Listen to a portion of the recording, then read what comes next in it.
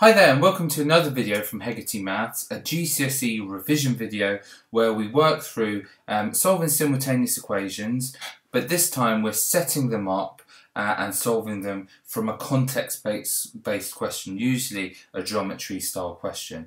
As always, for more help with your GCSE or A level, do check out the YouTube channel Hegarty Maths or the Twitter account. Right, let's start straight away by doing examples. Here's the first one. The sum of two numbers is 15. The difference of the two numbers is 8. Find the larger number. Right, we're going to keep our working really nice and neat and show examiners what we're doing at all stages. So we don't know the numbers, so let's introduce algebra. Let the two numbers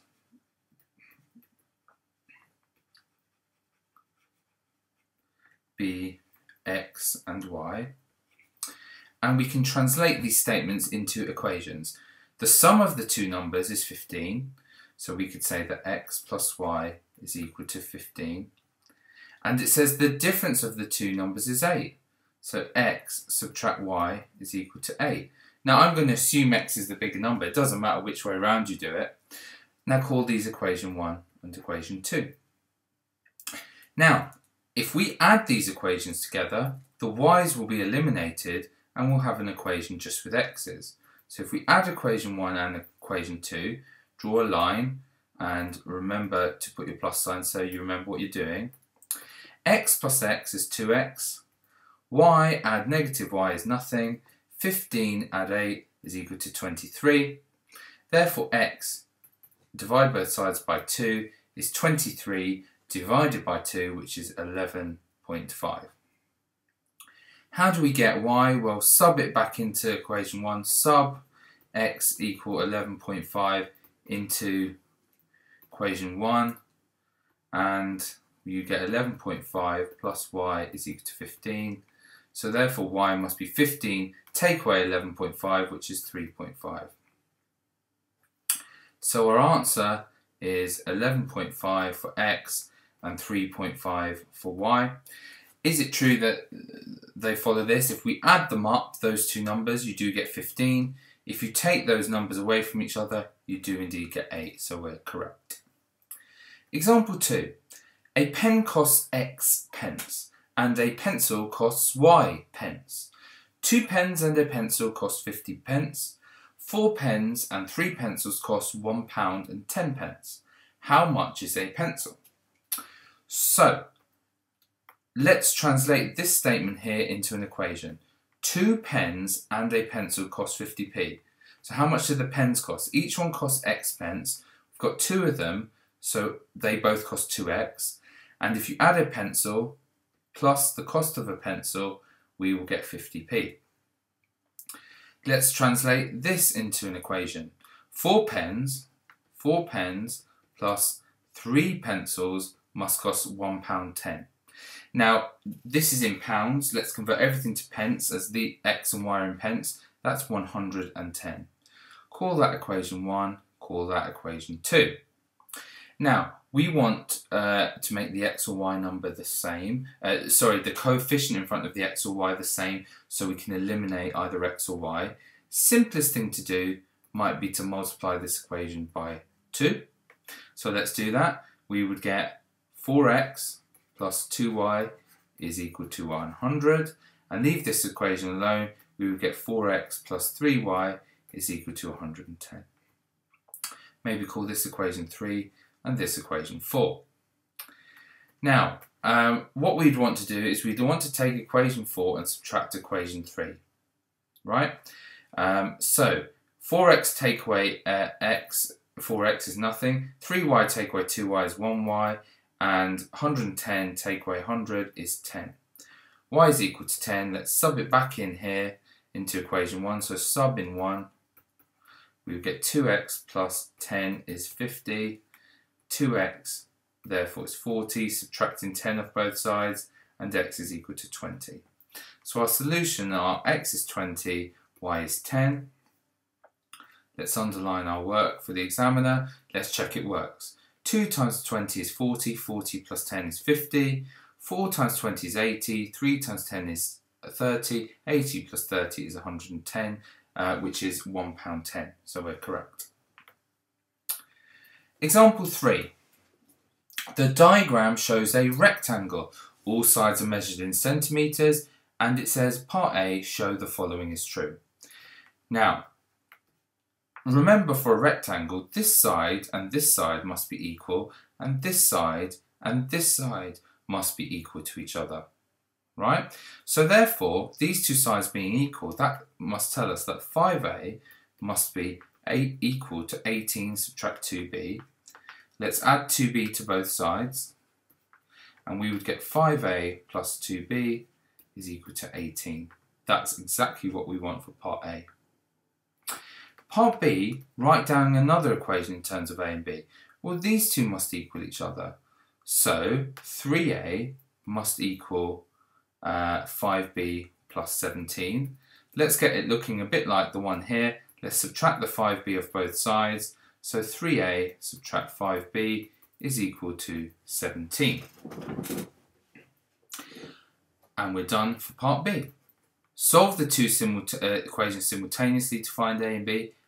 Okay, so for part C, here are our two equations. I'll write them small. 5a plus 2b is equal 18 and 3a subtract 5b is equal to 17. Right, so in order to do this we need to make the x or y number the same. Let's multiply this equation, I'll call this equation 1 and this equation 2.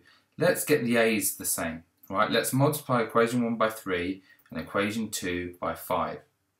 In which case we get 15a plus 6b is equal to 18 times 3, which is equal to 54. Let's multiply this by 5, I get 15a, subtract 25b is equal to 17 times 5, which is equal to 85. Okay, I'm just going to move this stuff just over a little bit here so we can see it. Now let's call that equation one, uh, 3 and that equation 4. Let's take equation 4 and subtract equation 3. So 15a, take away 15a is no a. Negative 25b, take away 6b would be equal to negative 31b.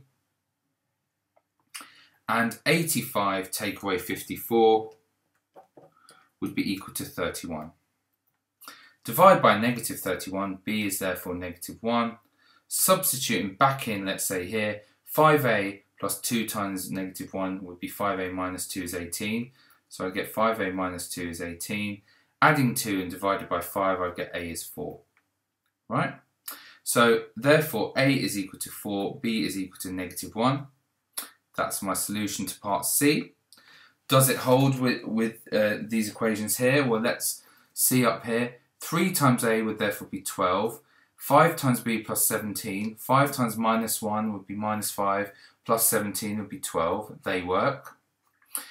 Uh, 5a would be 20.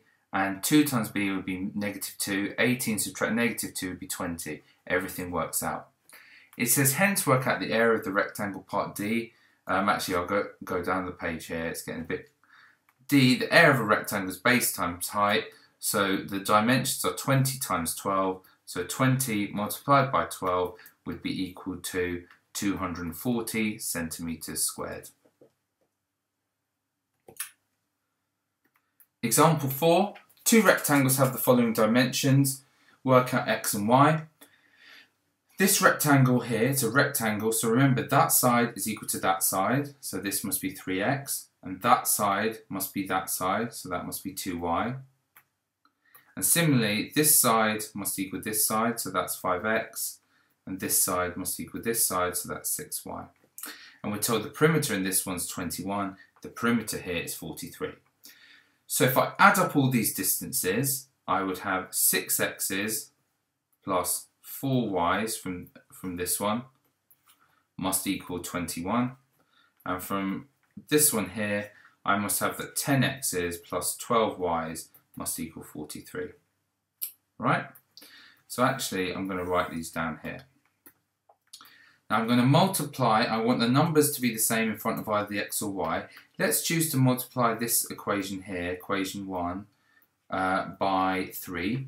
So I'd get 18x plus 12y is equal to 63. And this equation will stay the same. 10x plus 12y is 43. This equation 3 and 4. Let's subtract them. 3 take away 4. Uh, I'd get 8x would be 20. So x would be 20 uh, divided by 8, which would be 2.5. And substituting back in here, uh, 10 times 2.5 is 20. Uh, so this here, I should go down the page here, sub in 2. So 10 times 2.5 would be 25 plus 12y is 43. 12y must be 43, take away 25, so be 18, and y is 18 divided by 12, which is 1.5. So x is 2.5, y is 1.5, underline. Let's check it works.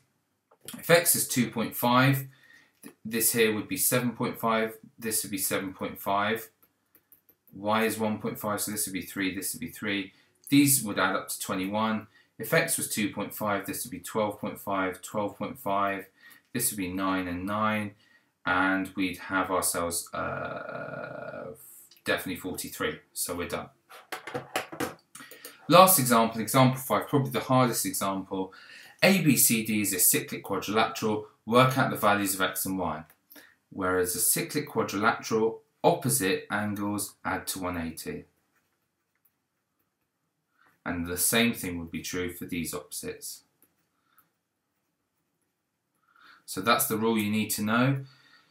Therefore, x plus y adds to 180, equation 1, and these two added together would 2x plus 15 plus y subtract 45 equals 180. Just before we label that, let's tidy this up. We've got 2x and a y, so keep those first. Then we'd have 15 plus 15 subtract uh, 45 would be negative 30 is equal to 180. Let's add the 30 to both sides just to tidy it up would be 210 and that would be our equation 2. So um, let me just shrink this here. So I'm just going to write the two equations we've got then. We've got x plus y is 180 equation 1, and we've got 2x plus y equals 210, equation 2. If we did equation 2 take away equation 1, 2x take away x is 1x, y take away y is nothing, 210 take away 180 is 30, so x is 30, summing it back in here, y must be equal to 150. And checking in here it works, it does indeed work. So x is 30, y is 150. How do we know it works? 30 and 150 add to 180. 2 times 30 is 60. 60 plus, uh, 15 would be equal to 75. And 150 take away 45 would be 105. These two add to 180. And so we're done. And that's it for this particular video. Um, then I'd suggest uh, you move on now to uh, a next video which will be coming up shortly, solving quadratic equations algebraically. Um, so do check out the YouTube channel or Twitter if you want to keep in contact and see when those videos are coming up. Uh, but for now, I'm checking out and see you next time.